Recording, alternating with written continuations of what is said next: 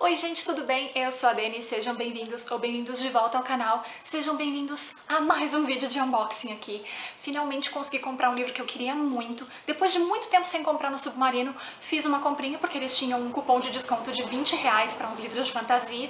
Então esse livro aqui eu tava querendo há muito tempo consegui comprar. O tempo tá um pouquinho escuro na minha cidade, esse vídeo tá um pouquinho estranho, tá, porque não temos luz aqui, então vou fazer o meu melhor pra vocês. Mas depois eu mostro esse unboxing também lá no TikTok pra vocês. Como eu falei pra vocês, eu fiz essa compra porque o Submarino ofereceu um cupom de desconto de 20 reais para livros de fantasia. Eu comprei no dia 26, chegou no dia 27. Eu tô arrepiada, chocada com a velocidade, porque eu não tenho o Prime deles ainda. Vamos lá.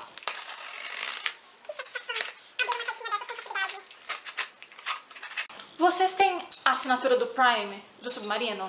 Vale a pena? Me contem, porque eu moro no Rio Grande do Sul e o frete pra cá é muito caro, gente. Então não dá.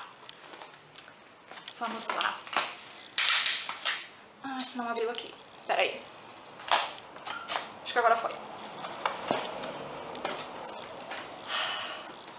Meu Deus do céu comprei. E essa é a edição revista, ou seja, eu comprei Cidade de Lua Crescente, o primeiro volume da série Cidade de Lua Crescente, que é Casa de Terra e Sangue, da Sarah J. Maas, ou Sarah J. Maas. Eu procurei como se pronuncia o nome dela, não encontrei. Mas enfim, vamos lá. Eu tava doida pra ler um livro dela. Eu quero muito ler a série Trono de Vidro, mas os livros ainda estão um pouquinho caros. E pra comprar nesse cupom de desconto de 20 reais, tinha que ser livros acima, tinha, a compra tinha que dar acima de 50 reais. O livro tava 55 reais no site, mas aí com o cupom de desconto ficou 35.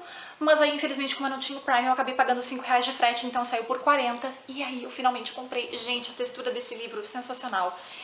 E para a quantidade de páginas que esse livro tem, que são 800 e quanto? 895 páginas, eu achei que super valeu a pena comprar por 40 reais. Então, gente, aqui está essa beleza. Eu estou louca para ler, louca para encher esse livro de post-it. Se vocês já leram algum livro da Sarah J. Maas, me digam aí, porque eu tô muito curiosa. O cheiro de livro é muito bom. Eu tava com saudade de comprar no Submarino, porque eu lembro que as minhas primeiras compras online foram através do Submarino, que foi o primeiro site que eu encontrei para fazer compras online de livros. Então, foi, foi bom, assim, né? Foi um momentinho gostoso, assim, deu uma aquecida no coração. Então, aqui está. Se vocês já leram, me digam aí o que, que vocês acharam. Eu pretendo trazer resenha. Não sei quando, porque esse livro aqui é um tijolo, né, gente? Caiu no pé, isso aqui dá uma fratura exposta, dá rompe ligamento, tá uma função, porque esse livro é imenso. Mas eu finalmente consegui comprar Casa de Terra e Sangue, depois de todo mundo já ter lido, já ter feito resenha, enfim.